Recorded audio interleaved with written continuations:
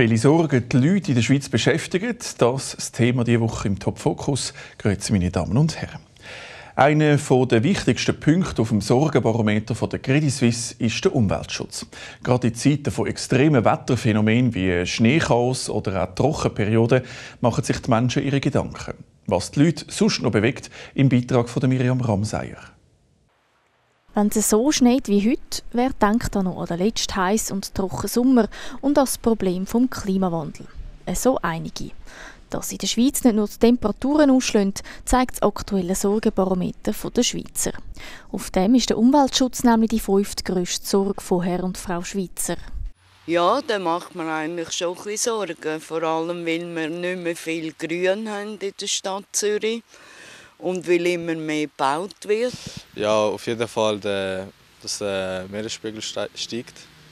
Und äh, ja, auch dass es irgendwie im Winter jetzt gerade nicht, aber im Winter vielleicht äh, kein Schnee an Weihnachten. Das ist äh, schon länger das Problem.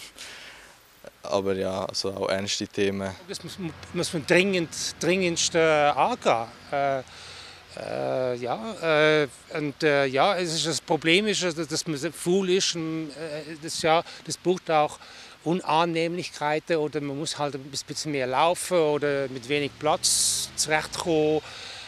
Äh, und, und, und. Einfach, äh, ja, der, der Lebensstil muss man halt ein bisschen anpassen. Genau diesen Ansatz vertritt auch der Klimaforscher Reto Knutti, der sich mit der Prognose vom Klima von den nächsten 20 bis 100 Jahren beschäftigt. Dass sich die Leute Sorgen machen über Umwelt- und Klimafragen, ist tatsächlich berechtigt.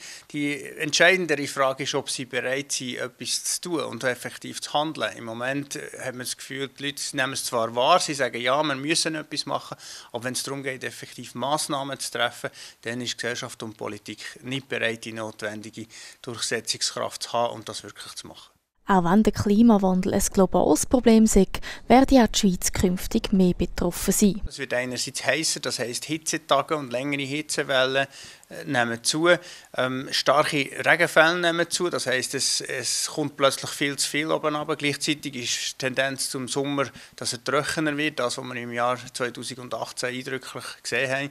Und natürlich der Wintertourismus, Abnahme von, von Schnee. Auch wenn es jetzt gerade im Moment schneit, ähm, die Tendenz vom Schnee ist natürlich ganz klar abnehmen. Das heisst, es gibt Auswirkungen in Landwirtschaft, Energie, Tourismus, Gesundheit und so weiter, ganz vielen Orten. Darum sind klare Massnahmen gefordert. Die Schweiz hat wie alle westlichen Länder natürlich ein Problem, dass wir zu einen hohen Fußabdruck haben, insbesondere zu viel CO2 ausstoßen durch die Verbrennung von Öl und, und, Gas und Kohle.